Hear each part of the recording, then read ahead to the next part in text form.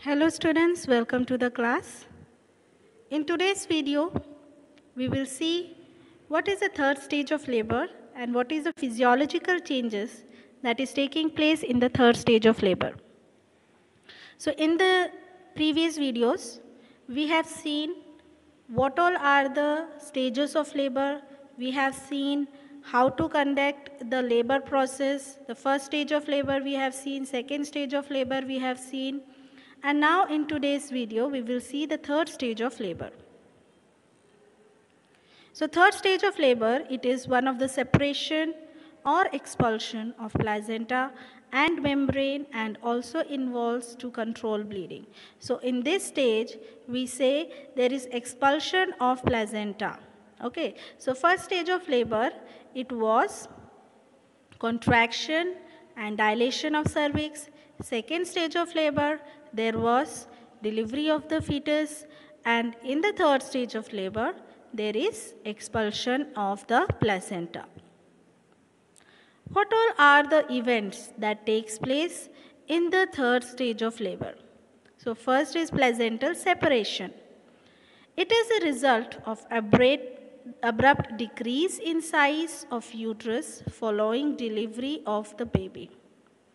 So after the delivery of the baby, now the placenta will separate from the uterus.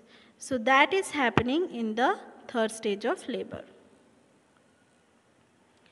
Now, how this separation takes place in the third stage of labor? The mechanism of placental separation. Mechanism of placental separation is brought about by contraction and retraction of myometrium, which thickens the uterine wall and reduce the size of placental area.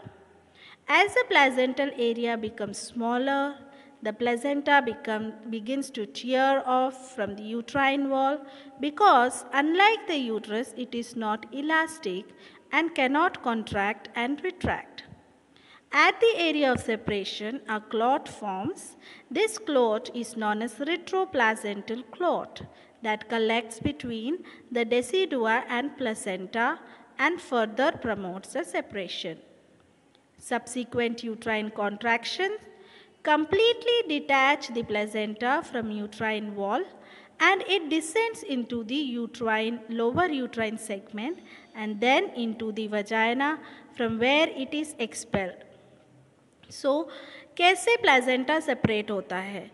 तो जैसे कि हम लोगों ने देखा कि second stage of labour first stage of labour में uterus contract हो रहा है और रिट्रैक्ट हो रहा है। तो इसका मतलब है यूट्रस जो है अपना साइज़ क्या है कम करता जा रहा है। लेकिन प्लाजेंटा में तो कॉन्ट्रैक्शन और रिट्रैक्शन नहीं होता है प्लाजेंटा अपना साइज़ वैसा क्या वैसा ही रखता है।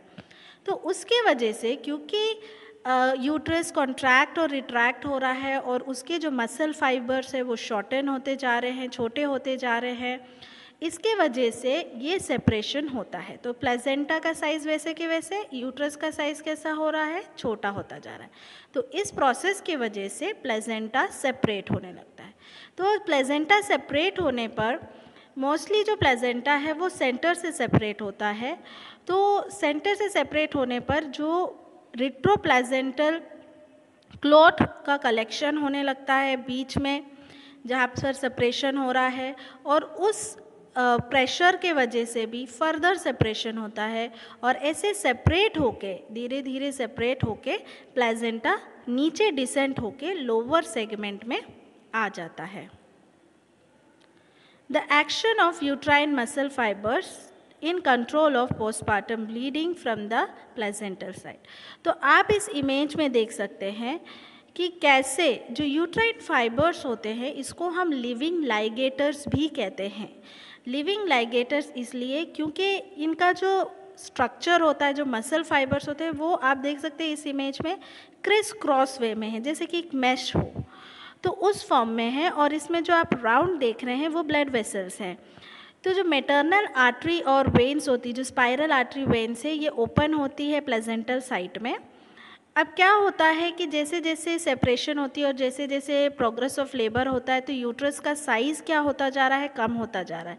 तो मसल फाइबर्स जो हो रहे हैं, वो शॉर्टन हो रहे हैं। तो ये आप सेकेंड इमेज देखें, जिसमें मसल फाइबर शॉर्टन हो रहे हैं, इसकी वजह से क्या है? इसके बीच में जो ब्लड वेसल्स हैं, ये क्या हो जा रहे हैं? कंस्ट्रिक्ट हो रहे हैं। So that's why how normally the placental site uh, it uh, decreases the size and constricts the blood vessels and compress the blood vessels और जिसके वजह से bleeding जो है stop होती है in third stage of labor.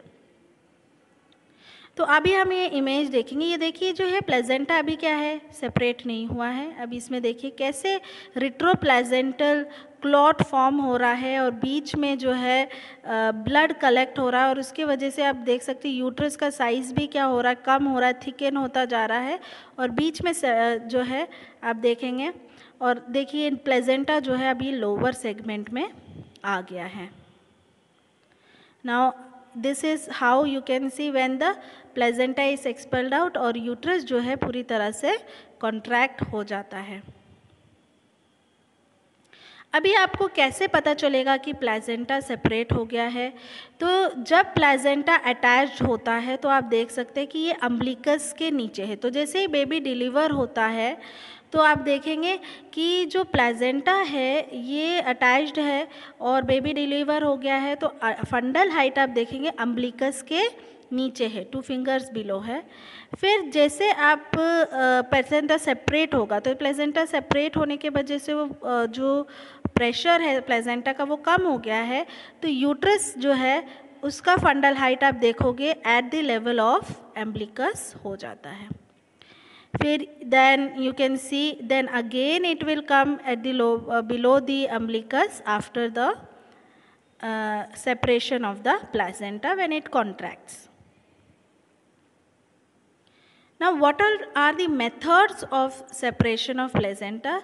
So there are two methods that we can see in the placental separation. So first one is Kull's method.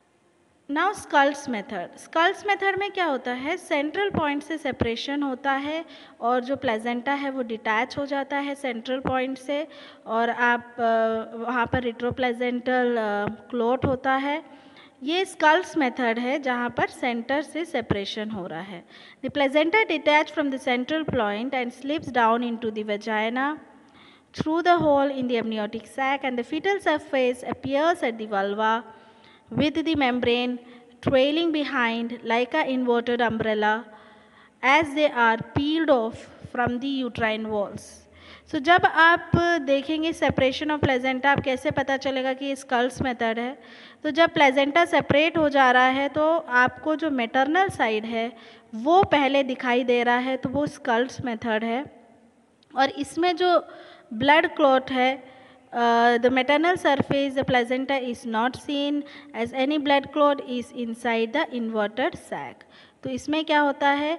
जो blood clot है वो अंदर साइड में होता है और मेटर्नल सरफेस में कोई सर पे नहीं दिखाई देता है और आप देख सकते हैं कि सेंटर से सेपरेशन हुआ है।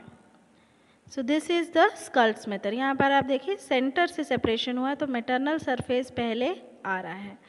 ना मैथ्यू डंकन सेकेंड मेथड है मैथ्यू डंकन्स मेथड इसमें क्या होता है, जो प्लेजेंटा है, वो साइड वे से सेपरेट होता है और साइड वे से वो जो है, वो स्लाइड करके वल्वा में आता है तो लैटरल बॉर्डर आपको जब देखेंगे तो आपको एक लैटरल सरफेस दिखाई देगा और it is more likely that this part of membrane will be left behind in the Matthew Duncan's method तो मैथ्यू डंकन्स मेथड में ये है कि जब पील ऑफ़ हो रहा है, तब कोई मेम्ब्रेन का पार्ट उसमें रह सकता है प्लेजेंटर का जो यूट्रस में।